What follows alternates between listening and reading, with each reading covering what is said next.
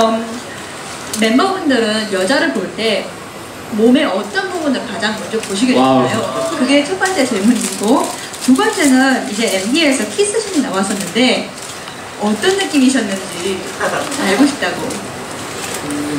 형부터 네. 일단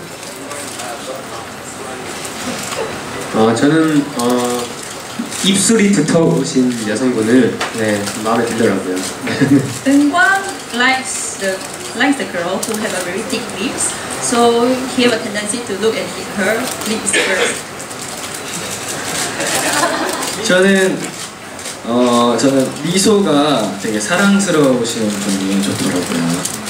Minhyuk, he looks at the smile first, as he likes a woman who have a very beautiful smile. 어, 저는 눈매가 이쁜 여자가 좋아요. 그래서 아이 컨택을 먼저 하는 편입니다.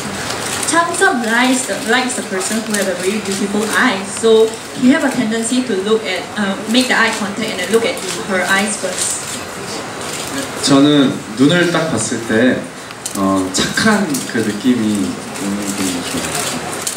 Um, Hyunshik have a tendency to go for the first impression, where um, he prefers the woman who have a very kind sense, kind and calm sense. 프리 네, 저도 어... 모르겠네요. 아, 저 이쁜 미소요. 네. Okay, uh, Peniel goes for the smile, which is pretty. 예, 저는 어 헤어스타일. 네. 네. Ilhoon goes for the hairstyle. 왜냐면은 그분의 그런 취향이라던가 뭔가 성격 같은 것을 뭔가 헤어스타일을 통해서 볼 수 있는 것 같아서 네. He feels that through the hairstyle, he can look at the person's personalities as well as his characteristics. So, first thing, he will look for your hairstyle. 네, 저는 쌍꺼풀이 있는 눈을 좋아하거든요. 제 이상형이기도 하고 그래서 어? Okay, Sangjae um, goes for the double eyelids because she, he likes the girl with the double eyelids.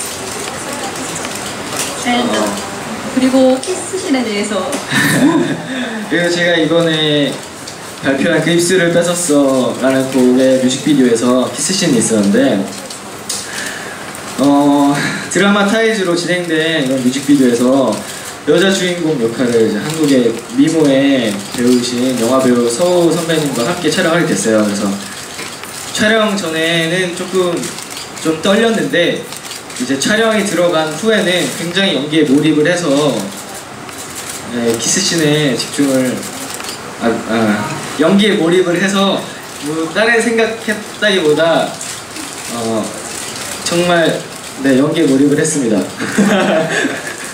um, he uh, for the MV he went uh, he was he took MV with the, one of the actress the movie actress called Seo Woo.